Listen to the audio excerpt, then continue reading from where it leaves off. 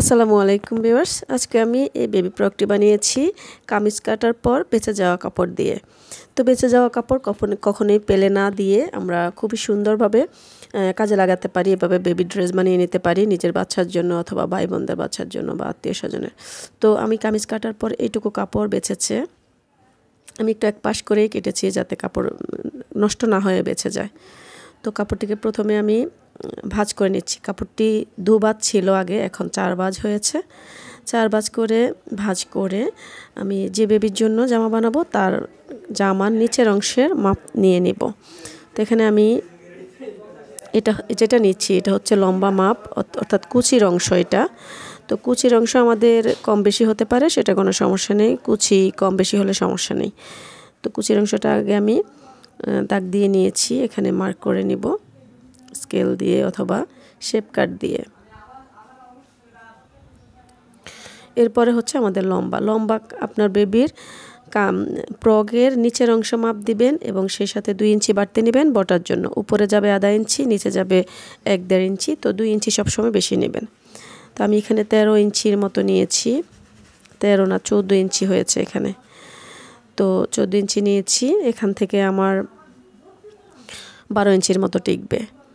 তো এভাবে দাগ দিয়ে প্রথমে নিচের অংশটা কেটে নিব।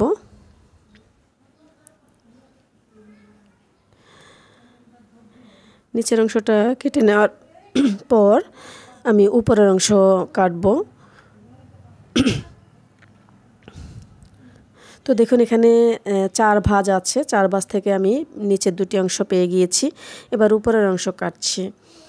দু ভাজ করে নিয়েছি, এখানেও আগে দুই ভাজ ছিল আরও আরও ভাজ করে নেওয়াতে চার ভাজ হয়েছে।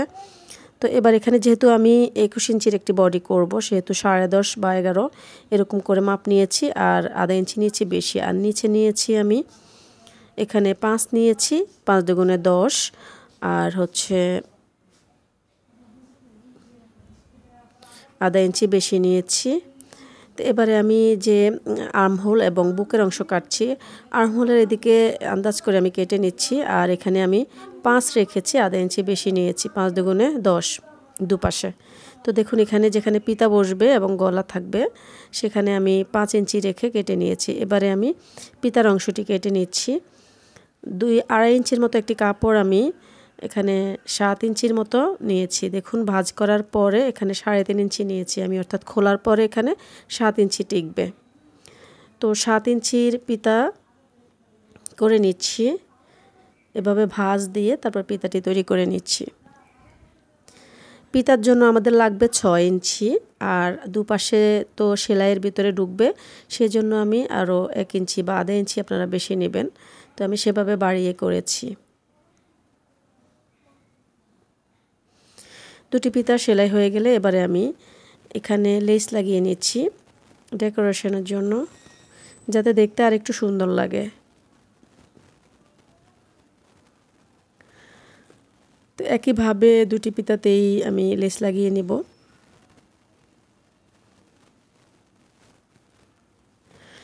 এরপর এই পিতাগুলোকে উপরের অংশের কাপড়ের সাথে জোড়া দিব। এ দেখতে পাচ্ছেন? এই অংশগুলোর সাথে জোড়া দিতে হবে। তো এই জোড়াটি যখন আমি করেছি, তখন আমার ক্যামেরা অন করতে ভুলে গিয়েছিলাম। তো এই পার্টটি দেখাচ্ছি। দেখুন, উল্টা করে, পিতাকে উল্টা করে ওই যে কাটার ভাজ অংশ সেই জায়গায় দিয়ে রেখে আমি আলগা একটা টুকরা নিয়েছি কাপড়ের। তো সেলাই করে নিচ্ছি। হাতার যে পিতাগুলো, এই পিতাগুলোকে অবশ্যই ঠিকভাবে রেখে আপনারা সাবধানে সেলাই করবেন যাতে সমান থাকে। দ্বিতীয় হাতাটিকেও ঠিকভাবে রেখে আমি সেলাই করে নিচ্ছি। এবারে উল্টে নিয়ে এই আলগা যে কাপড়টি নিয়েছি আমি, এটা এক ইঞ্চি, দেড় ইঞ্চির মতো নিয়েছি, এটাকে জাস্ট বোর্ডে দিচ্ছি। বটা দিয়ে, একটা বটা দিয়ে সেলাই করে নিচ্ছি। তো উল্টা দিকে বোর্ডটা সেলাই করে নিচ্ছি।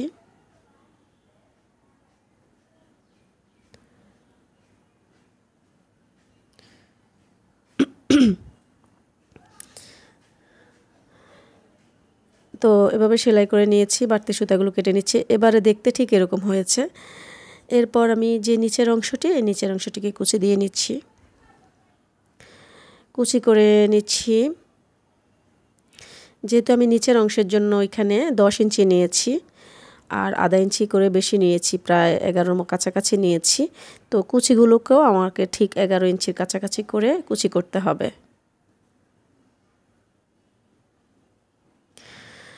ওকে, তো এবার আমি এই কুচির অংশের সাথে উপরের যে অংশ তৈরি করেছি, সে অংশ জাস্ট জোড়া দিয়ে দিব।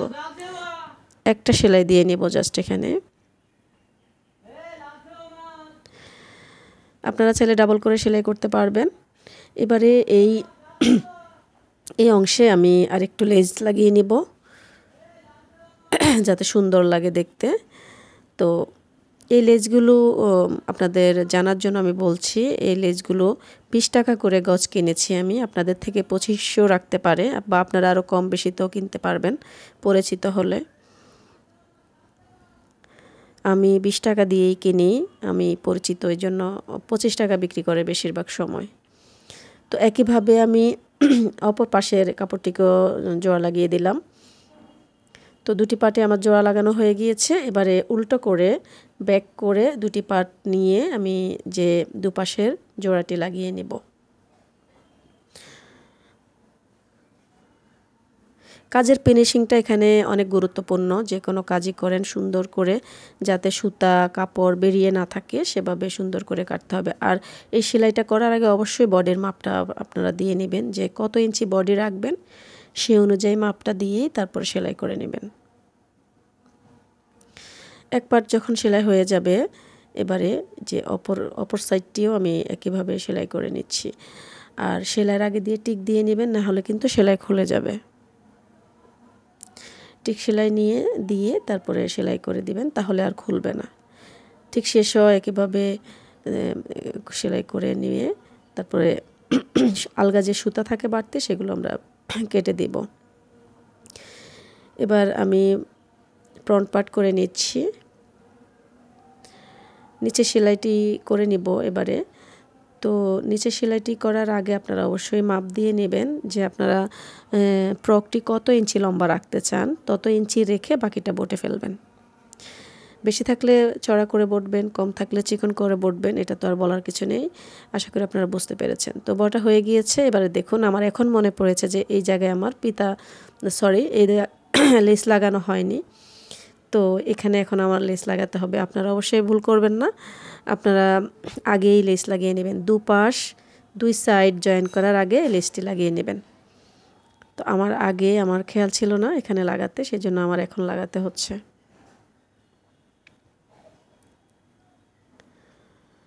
পরে লাগাতে গেলে একটু ঝামেলা হয়, সেজন্য আগে লাগিয়ে নেবেন। দেখতেও সুন্দর লাগবে, ঝামেলাও কম হবে।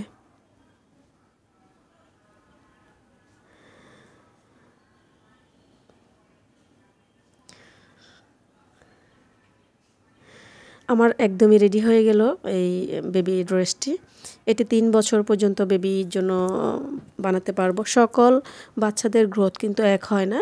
এক একজনের এক এক রকম গ্রোথ হয়। তো সেই অনুযায়ী বাচ্চার জামা হবে, এটা তো আপনারা বুঝতেই পাচ্ছেন। আশা করি ভিডিওটি ভালো লেগেছে। ভিউয়ার্স ভালো লাগলে লাইক করবেন কমেন্ট করবেন শেয়ার করবেন। আর আমার চ্যানেলটিকে সাবস্ক্রাইব করে দিবেন।